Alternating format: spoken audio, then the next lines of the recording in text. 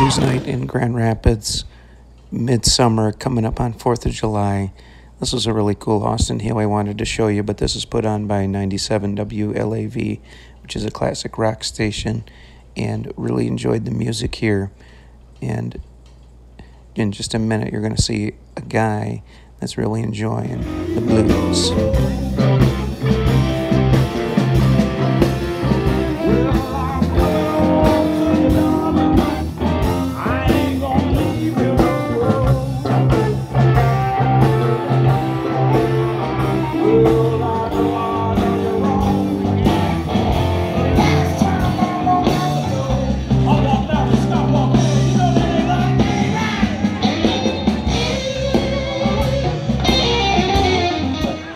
What's up? Big Cat Den here.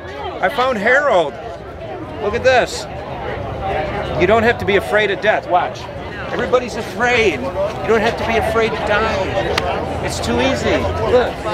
Where, where's the owner here? I want to make sure I have permission. Just don't tell her, okay? Don't tell her. I'm gonna take my shoes off. You don't even need to be afraid. Look at. Look at this. Come on in. Look at this. You know how many? Look at this. You could take a nap in here. And you know why? Because I'm not afraid. Of, I'm not afraid to die.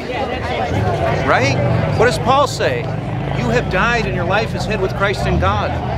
He says it's better to be away, better to be out of the body. It's too easy.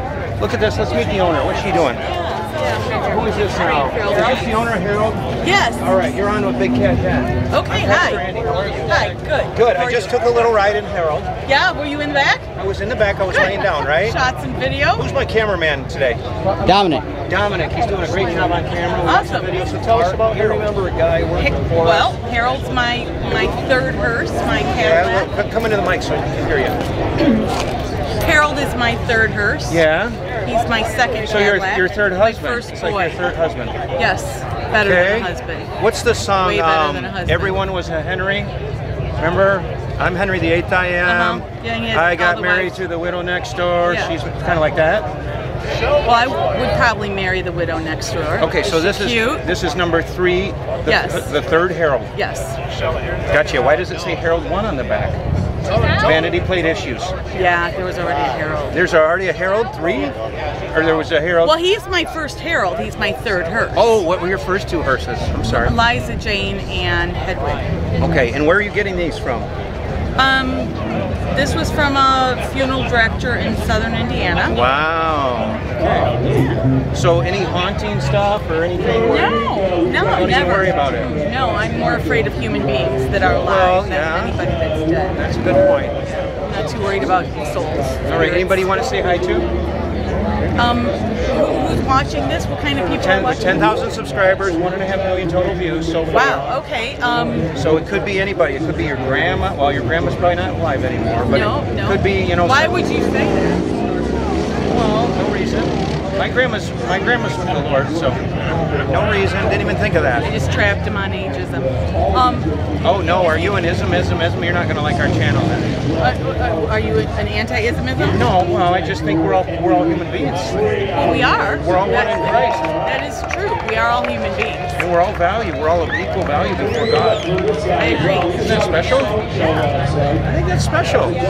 Okay, so go ahead. Did you want to say hi to anybody? Hello to all of you people out there who are watching. Have a beautiful day.